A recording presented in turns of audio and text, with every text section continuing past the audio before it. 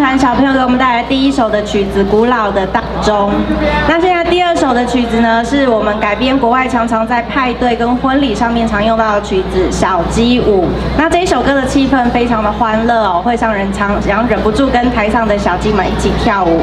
那让我们掌声来欢迎我们 B 团小朋友为我们演奏演奏小鸡舞。